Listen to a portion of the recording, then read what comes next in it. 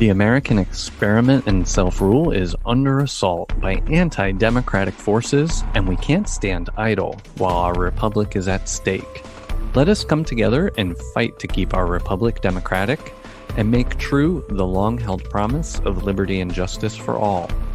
Citizen Do Good is excited to announce a long awaited project, Lost Cause Watch. It's going to be a harder hitting, direct take on what we must do as citizens to bring about the future we were promised. Everything is changed with the persistence of authoritarian tendencies and the myths that keep us divided. Only divided shall we fail, and only together do we prevail. We'll be taking on the issues of the day and how we can take action to secure our republic for now and for generations of humanity to come, hurtling through space on a rock covered in soil. Lost Cause Watch, a new production by Citizen Do Good coming soon. Stay tuned.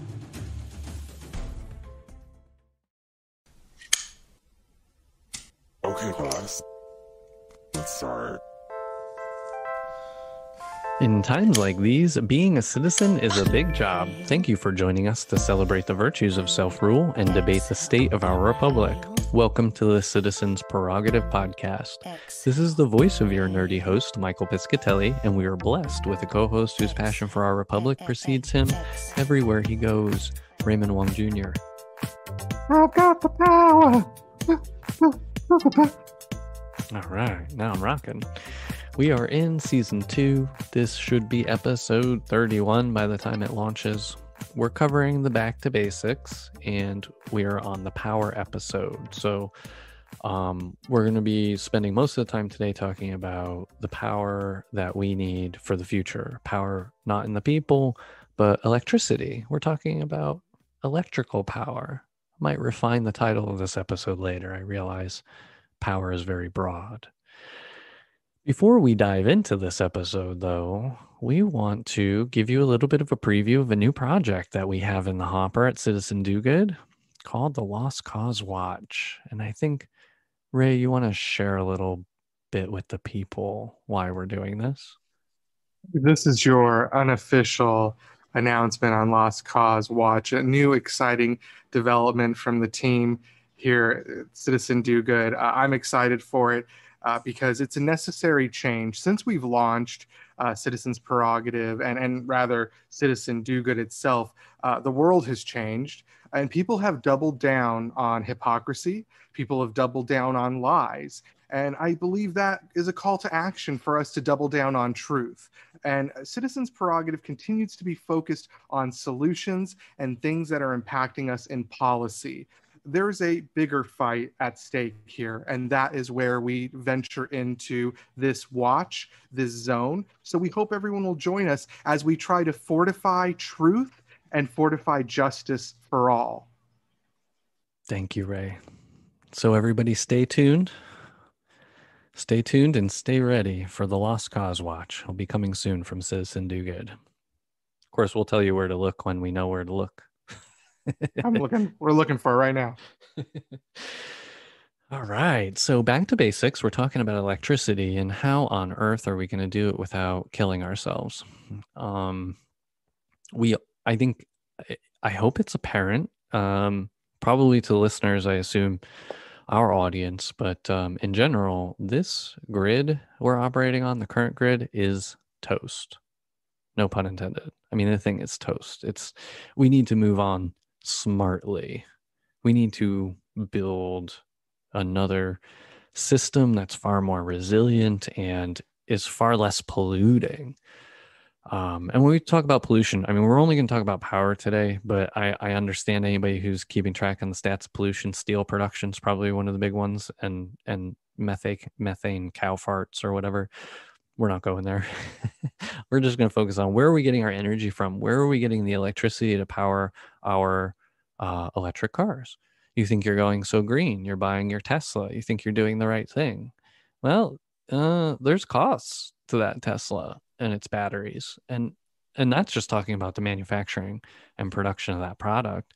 Set that aside. You keep putting electricity into that car. Where do you think it came from? Probably came from a coal-fired power plant or mm. something that's using fossil fuel to generate electricity. Now in California, you may have opted in and you're getting mostly wind or only wind or something like that. Good for you. But that's not the grid of the future. That's bolting on to the old grid that's failing, right? Right, right, and and I I'm glad you brought it to toast. I just it's a really interesting analogy in my head now, um, because if you think about it, the the transportation to get the electricity to you is very inefficient. Okay, there's something else. You know, you can't touch a power line, right? Because you'll get electrocuted, it'll burn you, whatever. Uh, there's something else you can't touch. Uh, it's a toaster you can't put you can't put any metal objects into a toaster or electrocute you. It's, it's, there's the same issue with a toaster is that it can that electricity conduction creates heat, right? It creates that eh, the ability to make the toast. The same thing is happening in those electrical wires above us. They are hot and they are burning off electricity in the form of heat as it gets to your electric car, right? So there is a ton of infrastructure waste because of the old system that you just latched onto, or if you're really wealthy, you get to solder on. That's a good analogy. I, I think of it like a, a, leaky pressurized water system, right? You know, it just it's pressurized to the max so that the energy comes out at your outlet, but like you said, it's leaking out everywhere and for various reasons. But it's it's old technology. It's a very old technology. We literally have strung wires around the world. Fascinating. So what we're talking about today, um, maybe less less focus on transmission and more focus on decentralizing, decarbonizing, what will make a more dynamic, multimodal, and thus more resilient energy grid. We're going to talk about it at a very high level. We're looking way down the road. We're not talking about immediately tomorrow. We're talking about what green eventually looks like because it's going to take a few steps for us to get there. Um, hopefully, it's a great leap, but we have yet to see that happen. That would require us to muster all of the resources we have at our disposal, and we have yet to actually do that to fight climate change. Funny enough, um, it's almost like at some point we have to wake up and treat it like World War II or World War III, right? right? That's when we convert everything over and we actually try to address it with new technology, science, investments, and productivity. Still not qu- quite there. Go ahead. No, no, and it doesn't make sense to me. You do what works in your area, right? We're not going to ask Arizona to go and become the breadbasket of America. That's not feasible. But we can ask Arizona to become the solar farm of the world. Mm-hmm why can't we work with what we have? Stop wasting water, keeping plants alive in an unnatural environment, and use your square footage for good. I don't think it's very complex. So we're saying that green is not an answer one size fits all, right? Green and being focused on on on that that that kind of responsible local uh, green energy means that you look at what works for your region and then we trade off the areas that have water we'll pipe it in and then we'll send them electricity. It, it just why why is it not a symbiotic relationship? Mm-hmm.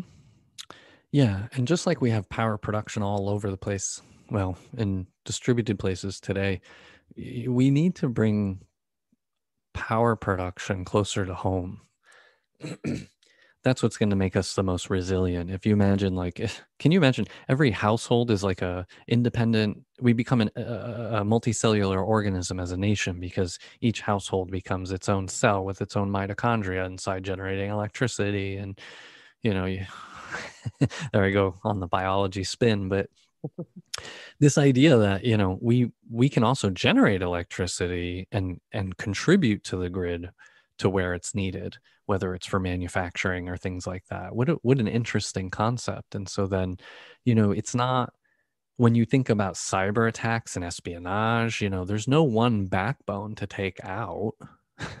you you know, that that's where resiliency comes from. So I realize we we use that word a lot, but in in material reality, what it looks like is is having multiple cells that can fail and the organism lives on.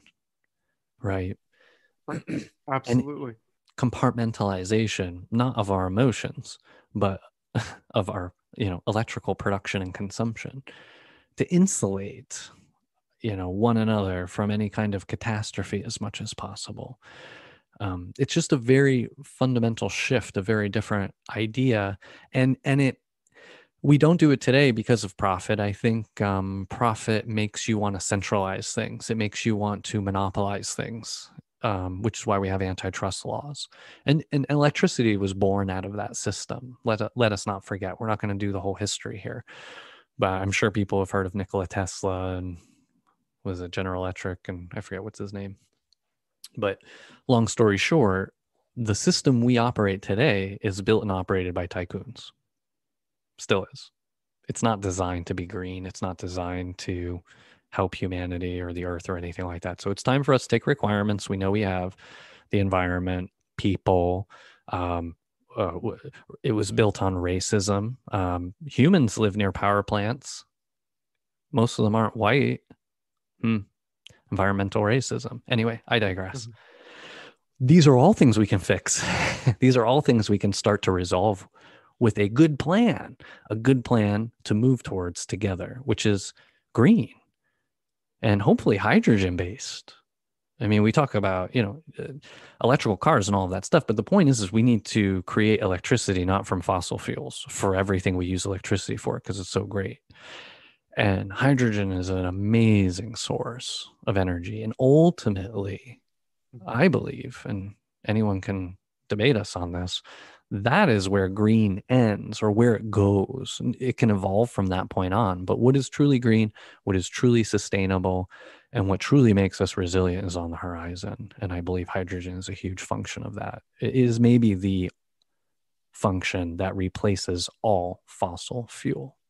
Yes and it's and I'm glad we're talking about it here because it's been available for a while, but special interests keep it in the shadows. Special interests keep it away because it competes with one of the golden childs of the economy, which is which is big oil, unfortunately. So don't be, you know, hydrogen is not some futuristic distant future ideal. This is ready. It's ready for prime time. And this is a good example of why citizens' prerogative exists, is because we need to talk about the resistance. Uh, there is a huge resistance out there that is not allowing us to discuss this as a clear policy. We all deserve hydrogen power, it's clean. I'll let you talk more about that, though. Uh, 100%, Raymond. Thank you. So we do have some green hydrogen projects. Um, we're trying to keep our eye on these things. It's fast moving. I excuse me, I do not work with or for Bloomberg or anything like that. You may hear me use Bloom, Bloomberg a lot, but it tends to be one of the sources that I consume a lot, and I have for a while for various reasons. So I won't go into that. Um, but I will recommend them because they, you know, they're good at looking at industries. They're good at looking verticals, cross verticals, looking at the latest management consulting companies and their findings, and even bringing people on to have discussions, insightful discussions about these things materially from a business perspective. So, from that vantage point, I would recommend, you know, if you're going to start looking into what projects might be going on around hydrogen and whatnot, Bloomberg has got a nice little pull up um, looking across industries, trying to figure out where the cutting edge of of sustainability is going to go. So that's food for thought for you all. Excuse me. But a fun fact for today all the evidence that we have indicates that there's more hydrogen in the universe than any other element. It's been estimated that approximately 90% of all atoms are hydrogen. Boom. Plus, um, we already produce approximately 7 million metric tons of hydrogen globally every year for various industrial uses. So it's not something, like Ray said, it's been around. We've been using it. There are reasons why it hasn't been deployed more effectively in more ways. Um, but time is now. Time is high for us to start looking at this and investing in what we need to to start shifting from fossil to hydrogen and we'll keep looking at tokamak, we'll keep looking at fission, but I get really concerned when we start smashing atoms. Hydrogen power does not is not coming from the same type of destructive forces that nuclear and uh, fusion and fission energy comes from. You can still make hydrogen bombs. Obviously, we did that. In America, we'll figure out how to make bombs out of anything. I digress. Toasters. Toasters. hydrogen um, comes in different flavors right now, uh, just because we're in transition, and hydrogen still pure, purely green hydrogen production is in its infancy. It's still relatively expensive and it's not widely used. And those are all problems that are so easy to fix. Those are just market problems. Those are not technical problems. Those are not feasibility problems. That's just oil is subsidized, hydrogen isn't. Let's be clear. So, right now we've got gray, blue, and green. We've got a few colors operating out there. Gray, hydrogen is still involves fossil fuels in its production. And like I said, the reason why we produce it is for, you know, industrial uses. So there's a reason to just use the cheapest fuel to produce what you can get. Um, we need to get rid of any incentivization there is to produce hydrogen using fossil fuels. That's a that's a starter. Um, the blue there's blue hydrogen. Just some of the terminology that's new to me and you know, i hope I, i'm assuming it'll be new to others as well and i hope that's the case. Otherwise i'm wasting your time. Blue is in between. It's not green but it's not gray. It's greener than gray. And i don't know my color wheel but it doesn't seem right. You could keep me honest ray blue somewhere in between gray and green i don't know. Ultimately where we want to get is green. Fully green hydrogen no no pollution. Imagine when you've established a fully green hydrogen energy process guess what comes out the tailpipe? Water. What a crazy concept.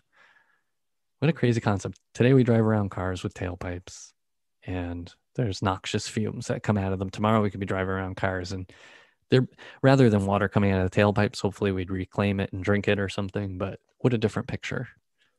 I don't think your color scale is a waste at all because i did not know it so this is helpful to me. Uh, i haven't had enough time to think about the color scheme yet so you'll have to give me some maybe in another episode we'll go sure. over the color scheme. I love it so you know, on the big side, uh, what's a citizen to do about production? Um, keep keep an eye on what Congress is going to be doing. What what is the Biden administration proposing? Like the this stuff tends to get a little technical and wonky, um, so maybe it's hard to keep tabs on. Honestly, I don't have any legislation to point to right now, so I'll go do some more digging yeah, yeah and see where there's investments. But, I think it's his infrastructure plan if it ever passes, yeah. right?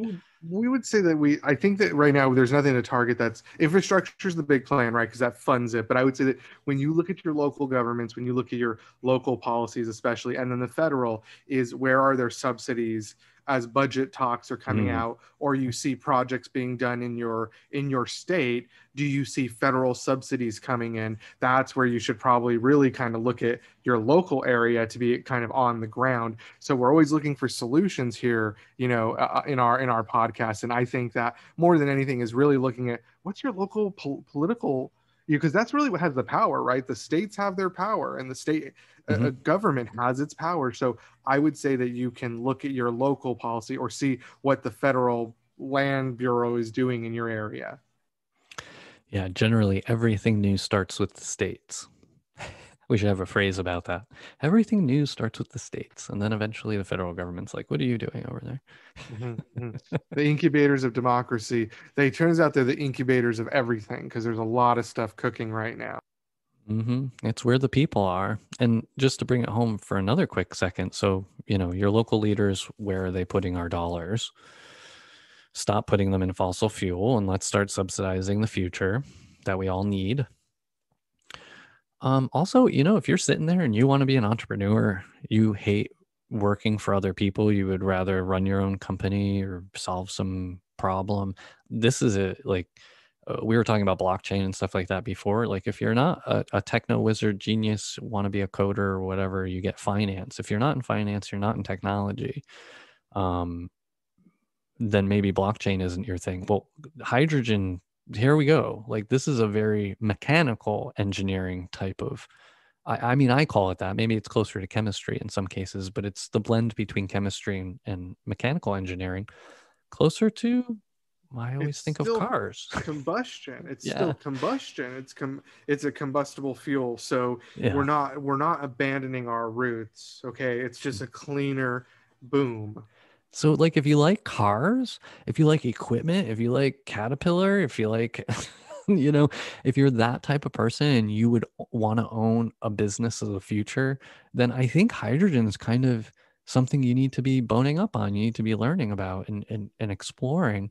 And if you're one of those people that can get there to the cutting edge, then then there you are. You're in, you're in what state on the ground building that business. I, I would recommend it because if you need any inspiration, we've got some here for you. Yeah. Check out Sure. Hyperion. I was so excited. You said it right when I want. I I love cars, Michael. You and I have always been about cars, and I'm so excited that there is actually a, a hydrogen car out there. As I understand, orders are, are available for this thing. It's like real. Yeah, through the website you can order now. And and they're not the only ones. I'm just ignorant. There is competition. Hyperion's not the only company betting putting their, you know, their cards on the future, the final solution, so to speak, in air quotes. Um, there's other companies out there, so go ahead, check it out, look it out, because Hyperion right now is is doing, you know, is selling like I don't know how much that car is. It's not for it's not for workers. It's it's for people who have money to invest in this future technology, and the car is amazing. Just go to their website and look at the videos. It's insane.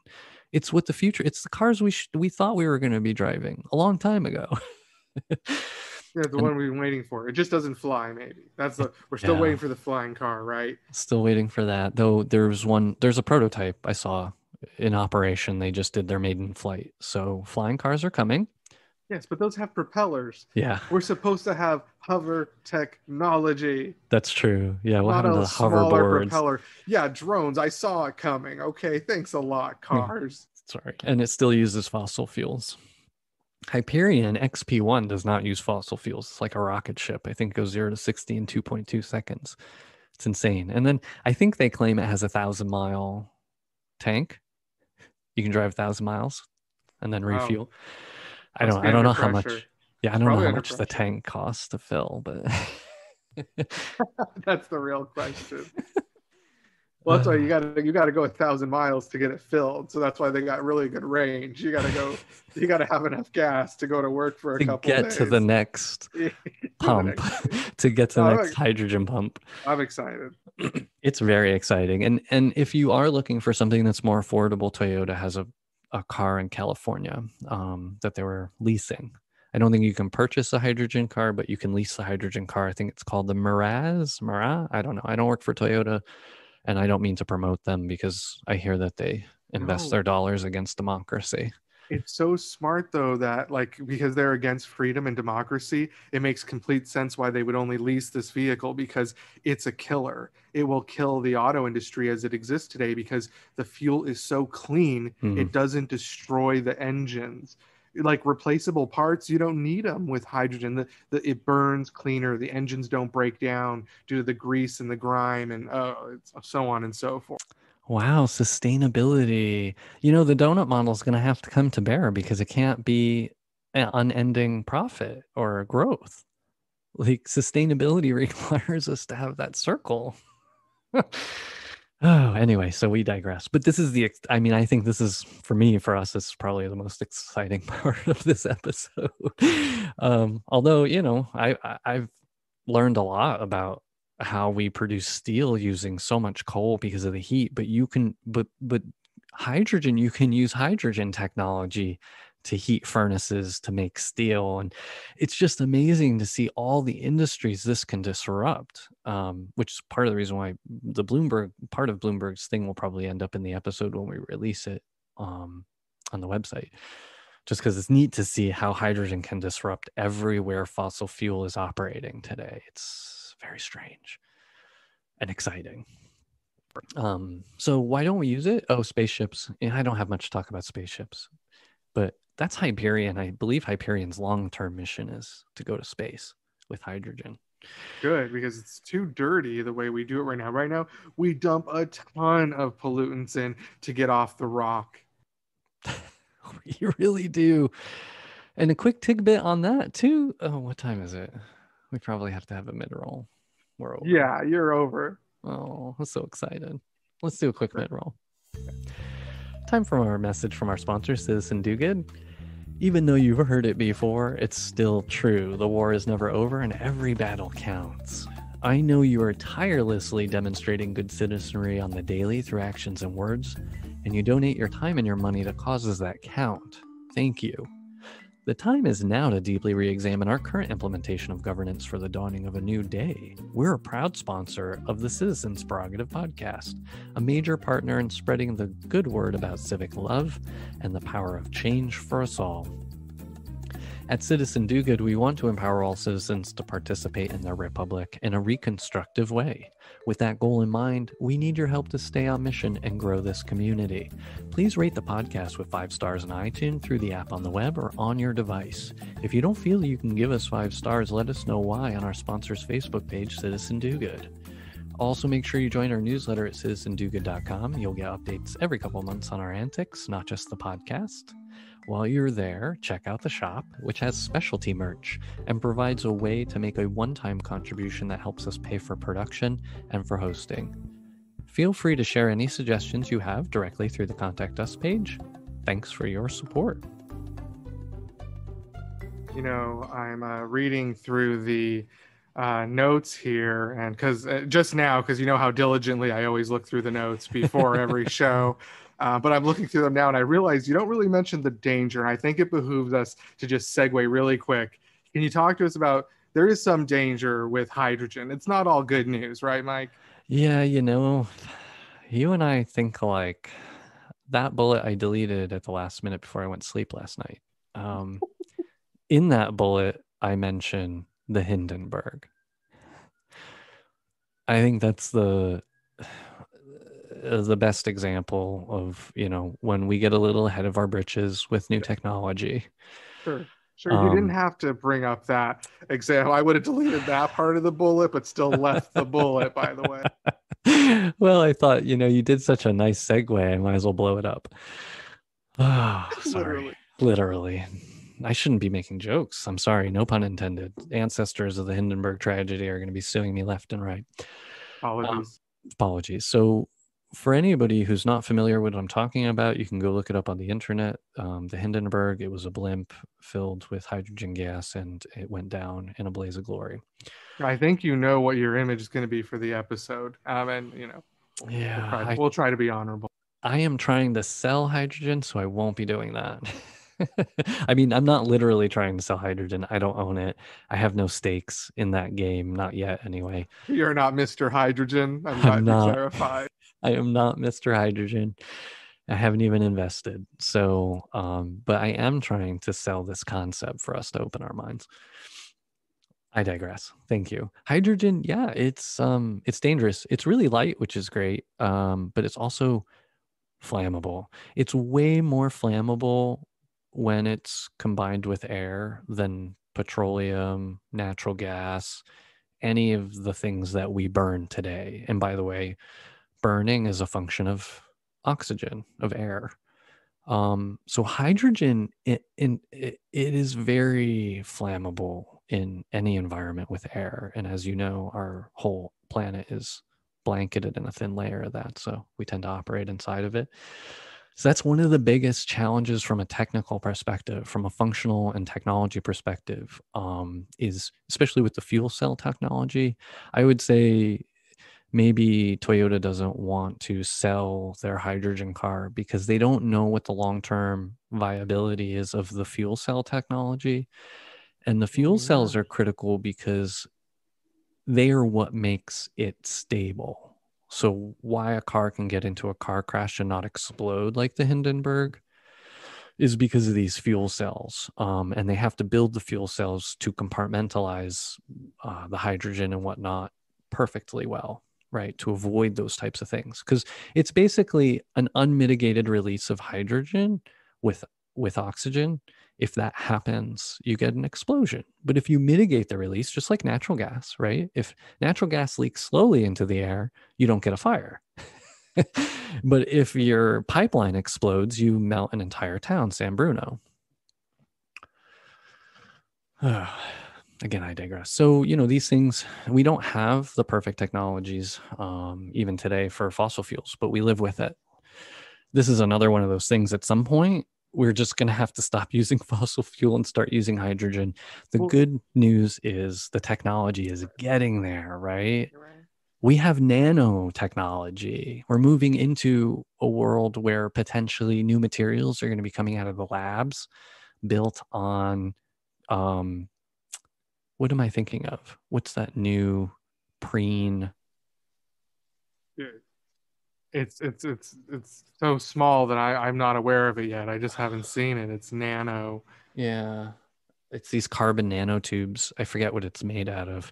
Graphene. That's the term I'm looking for. Mm this graphene stuff is going to be pretty amazing and we'll see what it can do what kind of materials we're going to be able to create out of it the good news is is like hyperion and other companies toyota have already you know built fuel cell technology. It works. They're proving it. But we got to bring the costs down. Um, the safety is getting there. We can start we can do this stuff safely. We do fossil fuel safely. And they're dangerous. Whoa. Well, I mean, let's be let's be clear that sorry, you yeah, but due to due to lobbyists and the focus of our government, are you know your stove, your gas burning stove should have a nice warning on it. Should probably be tested by the emissions uh, officials in your state because you're basically standing over a smoke gener- a smokestack for lack of better. I mean, you think, oh, it's gas, it's clean, it's natural. No, it's it's still burning. It's it's releasing a toxic fuel into your house consistently via pilot pilot light but when you're cooking and standing right over it you might as well be right behind your car inhaling that fumes. It, it is it is the same stuff coming out of your vehicle. It is an exhaust. And that's why you know hydrogen has its risks but its benefits to our health mm. are are good. Yeah. It's it's it's proper. It has a place. A hundred percent because it's a process we will have already learned to control and it doesn't create anything gross. Like the water is what comes out of these tailpipes of these vehicles, right? I mean, hydrogen, think about hydrogen. It's H2O is water, it's two hydrogens and oxygen put together, right? So, I mean, we we're made out of it or whatever. um, but you know, it's it's just one of those things. It's abundant in the universe. We can work with it it can generate electricity for us and it won't pollute the environment unlike fission or fusion or any of these other cockamamie schemes we've got going on for profit's and it, sake yeah and it's not finite you know like it's unlike the yeah. oil that we're currently using it's it's got a limited life. and what's unfair is that people are pumping this stuff out of the earth and charging us for it like this is our planet like what gives them the right just because they had stake they had the lobbyists it gives that oil company the right just because they got there first. That's over. I thought those days were dead with colonialism, but it's not. It's still alive and well with corporate cronyism. And we see a space race to steal more resources, more land for corporate gain. And, and it's citizens, it's time to take back. Life, liberty, and the pursuit of happiness means I get my planet to keep living as long as I possibly can keep it sustained, keep it whole, keep it clean with clean power. Can't forget more than anything, it's a power and it's a race because we're in competition, right? We're, we're not, you know, we've got plenty of people coming at this game um, and looking at this technology because it's been around. Oh, yeah. The whole world is in the race right now. Europe, Europe and uh, China and all of them because everybody knows where they need to go. And if you look at any of those command economies out there, you know, China, for instance, it knows how to muster itself to turn that ship. So we've got to get wise to it, and we need to pay attention to infrastructure infrastructure spending, so that we're building the right future for ourselves and for our prodigy. Yeah and we have to start sooner, Mike, because uh, China does it without the uh, Bill of Rights in their way. Hmm. So mm. they, they just they just railroad everyone Um, you know, they can build trains really easily when they can knock down any building they want. So it's different in China. They don't have the same disadvantage. It's harder to do work here in America. We have to work now. We have to start now. We don't have time to play catch up. Not at all. So keep an eye out for those investments. We need to invest in this technology even further, and anything that we can do to make research um, and affordability at a mass scale come to bear. Because this thing, this this is our future. We need to bring it about.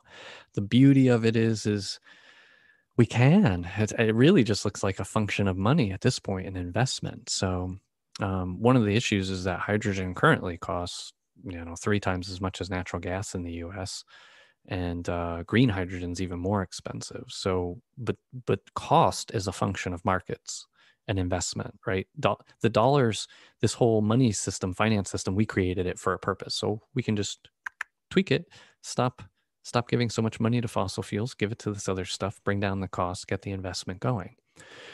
I have here um, a note from a McKinsey study uh, they estimated by 2030, the US hydrogen economy could generate $140 billion and support 700,000 jobs in the US.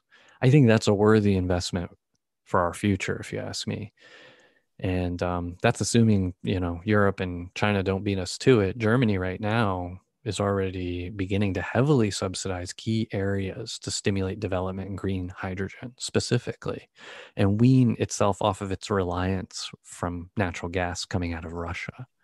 So they they have political, environmental, they ha- they have many reasons in Germany and Europe to wean themselves off of fossil fuels um, for geopolitical reasons. So we we need to get on we need to get on the ball here. And that's all I got. It's a lot and it's powerful.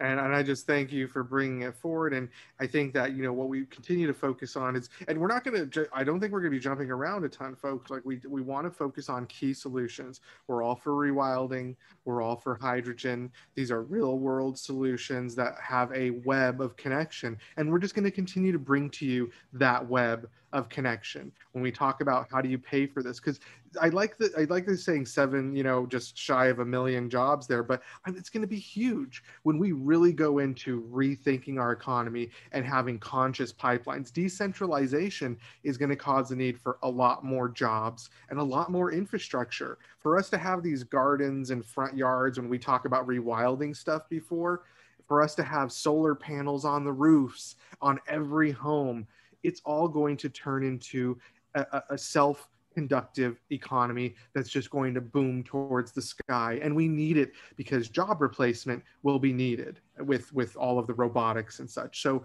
i, I hope you feel that. We're building a power center of um, ideas and, and and hydrogen is a good solution. We're looking for someone to tell us another one. Amen. We have been your hosts. Thank you to Mr. Raymond Wong Jr. And thank you, Mr. Piscatelli. I surely hope that my next car is a hydrogen one. Mm, me too. It's been something, that's for sure. For information on this and other episodes, head over to citizendogood.com and click on podcast. While you're there, hit up our contact us page and leave us a message. We would love to hear from the community. We'd like to give special thanks to you, our listeners. We save the best for last. You are the best. You have been for years. Thank you for your support. We know it's painful and we love you. Intro music sampled from OK Class by Ozzy Jock under Creative Commons license through freemusicarchive.org. Other music provided royalty free through Fesliyan Studios Inc.